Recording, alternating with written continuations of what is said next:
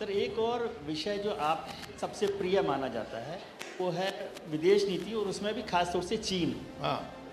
चीन को नाम लेते ही लड़खड़ाती है ज़ुबान आजकल तो। अभी जी ट्वेंटी हो रहा है वहाँ पे जिनपिंग साहब हैं उनके साथ प्रधानमंत्री जी की मुलाकात भी हुई है। गलवान का किस्सा अलग है।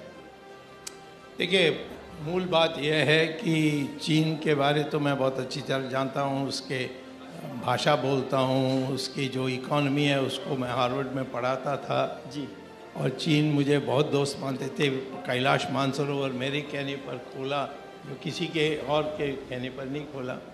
और मैं भी कैलाश मानसरोवर दो बार होकर आया हूँ। मैं ये कहता हूँ कि वो सब ठीक है परंतु 1996 में नरसिम्हा राव के काल में हम लोगों ने कहा कि ये जो विवाद है अक्साई चीन ये सारे जी। इसको इसको सुलझाने के लिए जी। इसको सुलझाने के लिए हम एक आज एक लाइन ड्रॉ करते हैं जिसको कहते हैं आम, आम, एलएसी। जी।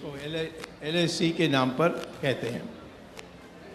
अब इसके माने ये नहीं है कि जो ज़मीन उस तरफ़ है वो वो हमारा नहीं है या चाइना आ, मानती है कि ये ज़मीन इस तरफ़ है वो हमारी है।